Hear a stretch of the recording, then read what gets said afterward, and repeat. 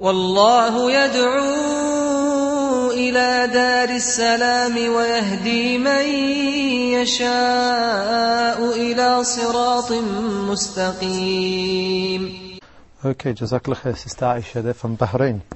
Okay, I just uh, wanted to complete that question off actually from, from the brother there. Uh, he's speaking about alcohol in cosmetic products, uh, especially antiperspirants and so forth.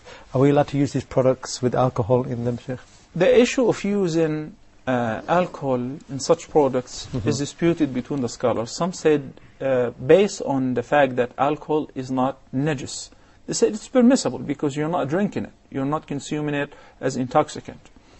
And this is not the same chemical structure of uh, alcohol, which is made to uh, uh, to cause a person to get drunk. So they say it's permissible to use perfumes or antiperspirant or deodorant, which have, uh, or even medication that have alcohol.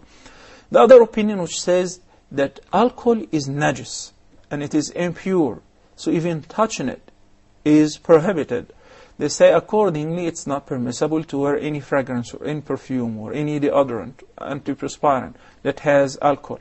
And dispute is going on and on and on. We understand that the Prophet ﷺ prohibited one of the companions who used to manufacture alcohol in order to use it as a treatment. He said, no, it's not a treatment. Rather, it is uh, a disease in itself. So if it is a little bit, or the, the, the ratio is insignificant, and it's not really a great deal, then it is permissible.